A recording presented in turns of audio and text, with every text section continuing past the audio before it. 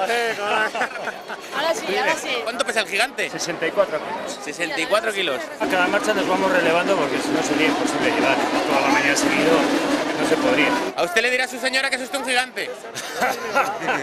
Eso pregúntaselo a ella que tiene que contestar